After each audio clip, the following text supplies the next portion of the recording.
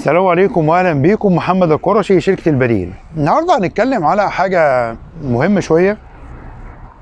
كنا اتكلمنا عليها قبل كده شراء العقارات في تركيا بالتقسيط. إحنا كان لنا شوية يعني ملاحظات كده قلناها وبعدين قلنا في فيديو تاني آه نصايح عامة فقلنا من ضمن النص- النصايح ديت انت لما بتشتري حاجة تحت الإنشاء العائد على الاستثمار فيها بيبقى أفضل من لما تشتري حاجة تم انشائها طيب إزاي يعني نفاضل بين الاثنين يعني انت في الآخر ما انت عايز تكسب فبالتالي عايز تشتري حاجة تحت الإنشاء وعايز ما يبقاش فيه لا قدر الله أي مساحة ليه مخاطره نعمل إيه؟ بص خليني أكلمك بالبلدي. أنا محمد القرشي لو أنا معيش الا مبلغ قليل جدا وعايز أشتري عقار آه ومش عايز أخاطر لا ما تشتريش تحت تحت الإنشاء وما تشتريش بالتقسيط وتوكل على الله اشتري شقتك واقعد فيها. أو بالتقسيط لو طبعا لو هتشتري من عقار فوري وبعدين إيه؟ آه تقسط. ده طبعا ممكن يعني. لكن ما اشتري حاجة. لسه ما اتبنتش وادفع فيها فلوس وأنا معيش إلا الفلوس ديت أنا وجهة نظري مش هبقى متحمس. طيب طب أنت لا أنت عايز تاخد القرار وتشتري بالتقسيط علشان يبقى في عائد على الاستثمار حلو. ليا شوية حاجات بقى بقول لك عليها يعني. أول حاجة تسأل نفسك أنت بتشتري من مين؟ مين الشركة المطورة؟ مين المطور العقاري؟ فأنا مثلا محمد لو أنا هشتري من الشركات ال- التابعة للدولة هنا في تركيا أملاك كنوت آه، كبتاش توكي هبقى مستريح 100% بصراحة. هي شركة الدولة يعني هي- هيحصل هيتأخر شوية مقبول يعني. طيب لو مش شركه الدولة وشركة خاصة لازم أتأكد من من وضعها. أسأل عليها في الغرفة الت- التجارية مثلا عاملة لا قدر الله عاملة افلاس ولا لأ؟ شغالة ولا لأ؟ آه، المشروعات اللي عملتها قبل كده إيه سمعتها؟ مستوى تشطيبها؟ واخد بال حضرتك؟ فده ده دي نمرة واحد. يبقى أنت بتسأل نفسك مين الشركة اللي أنت بتشتري منها؟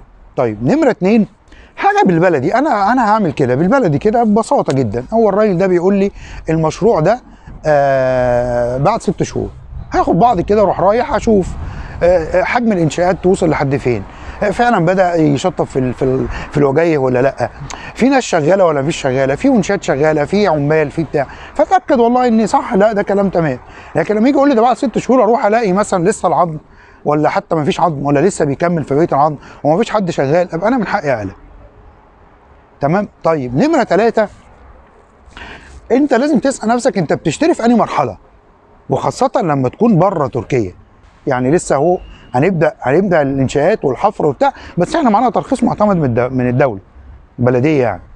ولا لا دي إحنا عدينا المرحلة دي وبدأنا كمان والعظم طلع وخدنا طابو ارتفاق اللي هو سند الملكية المبدئي ولا دول خلاص يا عمي بيشطبوا وخلاص بدأوا في تشطيبات الوجاية والتشطيبات الداخلية خلاص على وشك. دي دي, دي تسأل نفسك يعني. ليه؟ أنا مثلا محمد القرشي مش هشتري عقار بالتقسيط لسه الترخيص ما طلعش. مش هعمل كده. ده نمرة واحد. يعني مش هشتري زي ما بيقولوا يعني سمك في مية يعني. طب الترخيص طلع.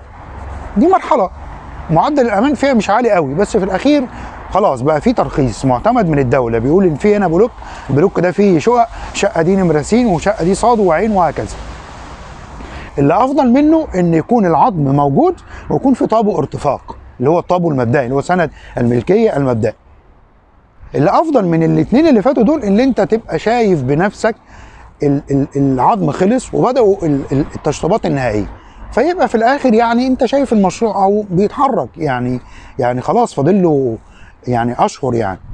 يمكن هنا العائد على الاستثمار ما هواش هيكون أفضل زي لما يكون مثلا في المرحلة اللي قبلها أو اللي قبلها ولكن خليني أنا أنا من الناس اللي بيتبعوا يعني إيه درء المفسدة مقدم على جلب المنفعة. خلينا بقى نستخدم إيه المصطلحات بتاعت الجماعة ال- الأفاضل دول. فيبقى أنت يا عم اكسب يعني شوية صغيرين بس تحافظ على فلوسك أكتر ما يبقى في احتمال تكسب كتير بس المخاطرة كتير. وده في الحقيقة وجهة نظر. النهارده أنا مش بكلمك على معلومات أنا بكلمك على وجهة نظري الشخصية. طيب نمرة أربعة اللي هختم بيها اللي لو سمحت يكون ده من خلال شركة عقارات آه معروفة ثقة هي اللي بتدير الصفقة دي بينك وبين الشركة المالكة ده ضروري بصراحة. هي هتبقى أقدر على على تقييم الشركة أقدر على اطلاع على العقد اللي هيكون بينك وبين. بين بينك وبين الشركة المالكه لأن خلي بالك بعض بعض العقود بعد 14 يوم غير قابلة لل لل لل- للرد. يعني أنت بقى تروح تبيع لحد. واخد بال حضرتك؟ ممكن يكون لما ترجع يبقى لازم مثلا تخسر مثلا تكون مثلا دافع 15% ويكون مكتوب في العقد ان انت لو رجعت هتتنازل عن 25 من قيمة العقد. حاجات كتير يعني. تأكد إن التقسيط بالدولار ولا بالليرة؟ وأنتم طبعا عارفين موقفي من موضوع التقسيط بالدولار يعني. فدي حاجات مهمة. لو انت ناوي تشتري بالتقسيط لو سمحت خلي بالك خلي بالك منها. ربنا سبحانه وتعالى يلهمك الرشد والصواب. ويوفقك ويبارك لك في آه، رزقك ومالك. أهلا بيك.